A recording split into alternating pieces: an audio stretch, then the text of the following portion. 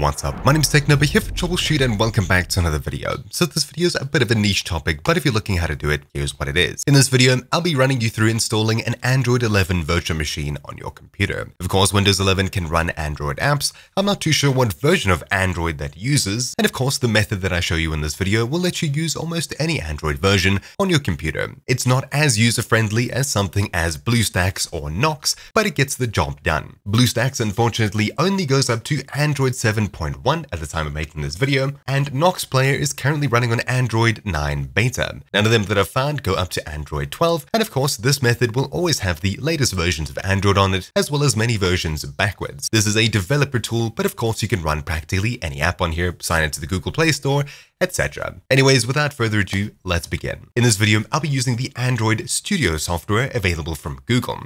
There's two ways of getting this. The first is by downloading it off the website, and the second is if you have a program like Visual Studio, you can use the Visual Studio installer. In the Visual Studio installer, simply click Modify, head across to Individual Components, and simply search for Android. You'll see the Google Android emulator, which is what we want to install, and if you have an Intel CPU, you can use the Intel Hardware Accelerated Execution Manager, HAXM.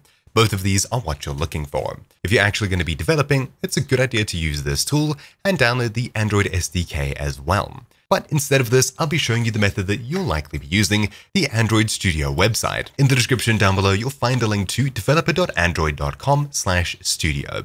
Simply click Download Android Studio, read through the T's and C's, agree, and download Android Studio. Simply open up the Gigabyte exe that's now downloading by clicking on it to automatically open it when it's done downloading. Simply click Yes when prompted for admin, and follow through with the installer. So next, you can choose what you'd like here. I'll have both of these selected. Next, choose the install location. For this, I'll be moving it to a different drive, simply E, but you can use the browse button as well. Next, install, and I'll wait for it to install. This will take some time depending on the speed of your drive and your computer. And when it's done downloading, click next. Then make sure Start Android Studio is ticked and click Finish. Now we'll wait for it to boot, and you'll be on the homepage of Android Studio. Now, unfortunately, I have installed this in the past, so I haven't got the welcome tutorial slash intro screen that you might get where you're asked to set up how the program looks. Simply just click through it, there's not too much involved there. When you're on this main page, expand more actions, and then make sure to click AVD Manager,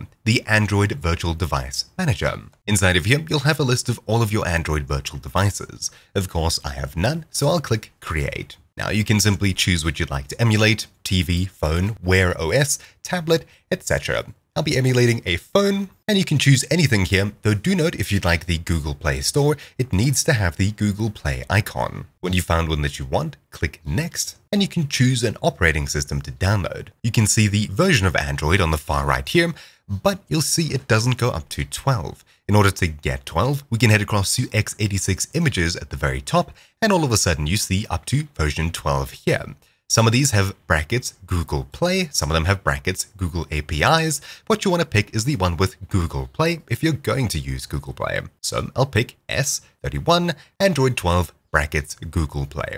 Simply click download over here to download the actual operating system itself, click accept, next, and simply wait for the Android OS to download. Of course, it is a Gigabyte Plus, so this will take some time to finish. When it's done, simply click Finish, select the version here if it's not already selected, and then click Next. Then you can simply choose an orientation that you'd like to use the device.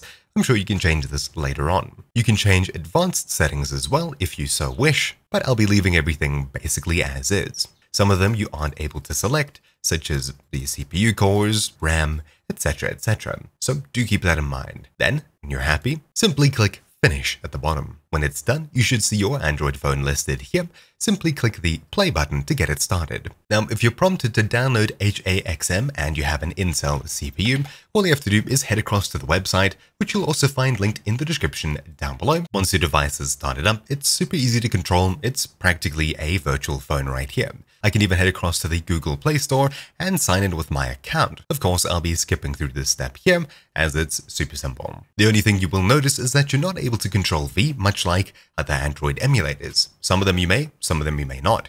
But on this one here, you can see I have whatever I have copied in Windows in here and I'm able to click it to paste it in. There's also a paste button here, which should do the same. Then after you've signed in, you can use the Play Store as per usual download programs like WhatsApp, etc. To rotate the phone, there's rotating options here, and of course you can drag it around by the bezels.